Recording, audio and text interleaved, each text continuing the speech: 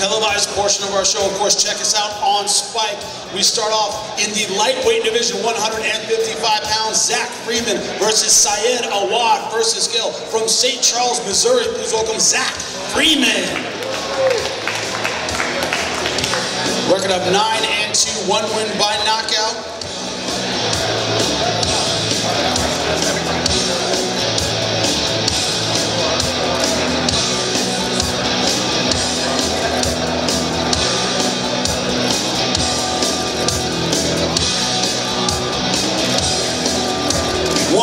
One fifty-five point three for Zach Freeman.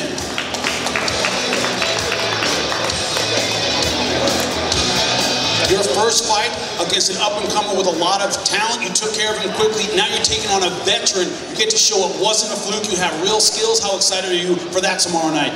Uh, first, I'm a fan of Saad, so it's an honor to fight him. Uh, I'm excited to put on a good show. He's exciting. I'm exciting. Uh, that's what these guys pay for, so that's uh, what you deserve. So I look forward to giving them uh, their money's worth.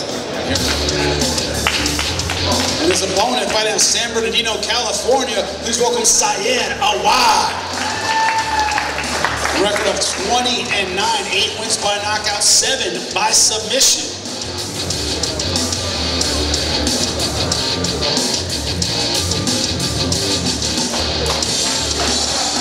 One fifty-five point six for Saad Awad. You heard what Zach had to say. He's a fan. He respects you.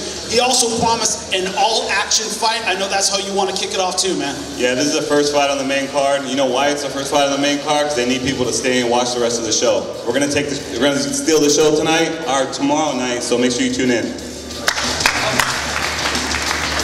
Don't tune in late. It's going to be a great one at 155. Zach Freeman versus Saad Awad.